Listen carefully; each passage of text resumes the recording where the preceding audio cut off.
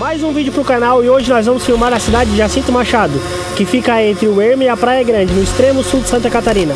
Vamos lá então? Uhul, Jacinto Machado!